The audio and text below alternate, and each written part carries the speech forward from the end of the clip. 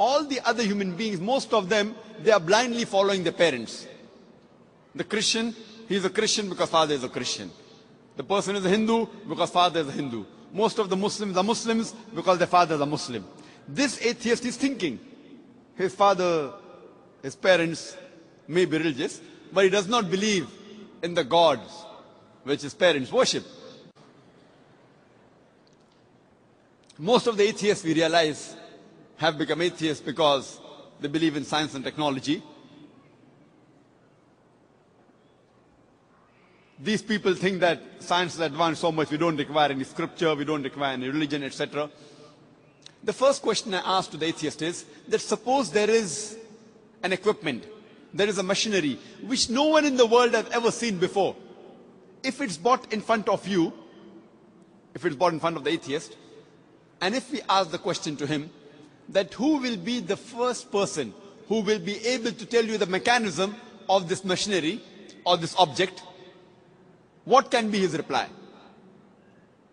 What can he reply? Suppose a machinery who no one in the world has seen, if it's brought in front of the atheist and he's asked the question, who will be the first person who will tell you the mechanism of this machinery or object?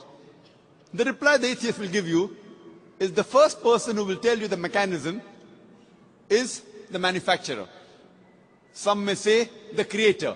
Some may say the inventor. Some may say the producer. Whatever they say, it will be somewhat similar. Either they say the creator, the manufacturer, the producer, the inventor. It will be somewhat similar. Just keep it at the back of your mind. Then ask them the next question. That how did our universe come into existence? So the atheist will tell us that initially there was a primary nebula. Then there was a big bang There was a secondary separation which gave rise to galaxies, the sun, the moon, and the earth on which we live. This we call as a big bang. When did you come to know about this creation of the universe? So he will tell you about 30, 40 years back, the scientists that discovered this. You ask him the question, but what you're talking about the Big Bang is already mentioned in the Quran, in Surah Anbiya, chapter number 21, verse number 30, which says, أَوَلَمْ يَرَ الَّذِينَ كَفَرُوا do not the unbelievers see. Anna samawati wal arda. Kanat ratkan fataknahuma. That the heavens and the earth were joined together and we clove them asunder. What you're talking about the Big Bang is already mentioned in the Quran 1400 years ago. Who could have mentioned that? So the atheist will say, maybe it's a fluke. No problem. Don't argue with him. You continue. The light of the moon, is it its own light or reflected light? So the atheist will tell us that previously we thought the moon has its own light. Recently we have come to know in science, recently means 100 years back, 200 years back, we have come to know that the light of the moon is not its own light but a reflected light. The Quran mentions 1400 years ago in Surah Furqan, chapter number 25, verse number 61, that blessed is he who had placed the constellation in the sky and placed therein a lamp, a sun, having its own light and moon having reflected light or borrowed light. The Arabic word used for moonlight in the Quran is munir or nur, meaning reflected light or borrowed light. Who could have mentioned in the Quran 1400 years ago that the light of the moon is not its own light but reflected light, which we have come to know recently? The atheist may say, Your Prophet Muhammad, peace be upon him, maybe he was intelligent man. Don't argue with him. Continue. The world that we live on, what's the shape of this earth on which we live? The atheist will tell you it is spherical. When did we come to know? So he will tell us 19, it was 1597 when Sir Francis Drake, when he sailed around the earth, that he proved that the earth was spherical. But the Quran says 1400 years ago in Surah Naziyat, chapter number 79, verse number 30, Wal arda ba'da zalika dahaha. And thereafter, we have made the earth egg-shaped. The Arabic word dahaha, one of its meaning is the earth is an expanse.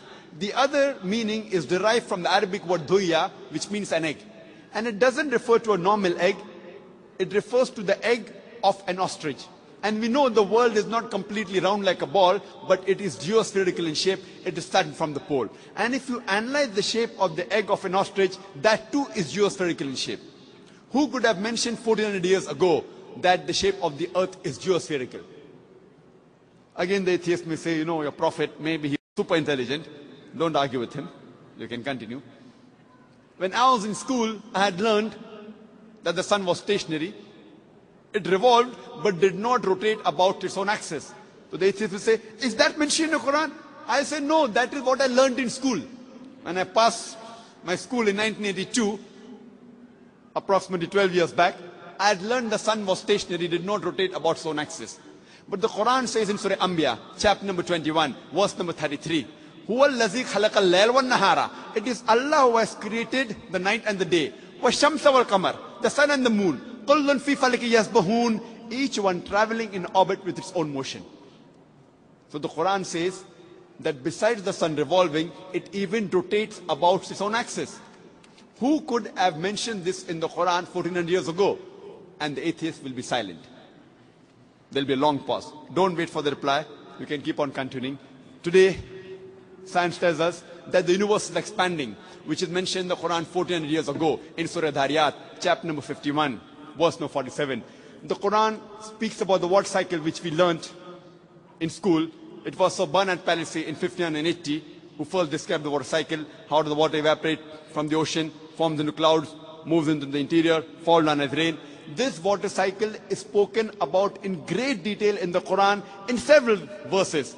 In Surah Az-Zumar, chapter 39, verse 21. In Surah Rum, chapter number 30, verse 24. In Surah Hijr, chapter 15, verse 22. In Surah Mu'minun, chapter number 23, verse number 18. In Surah Nur, chapter number 24, verse number 43. In Surah Rum, chapter number 30, verse 48 in Surah Araf chapter number 7 verse number 17. In Surah Furqan chapter number 25 verse 48 to 49. In Surah Fatir chapter number 35 verse number 9. In Surah Yasin chapter number 36 verse number 34. In Surah Mulk chapter number 67 verse number 30. In Surah Tariq chapter number 86 verse number 11.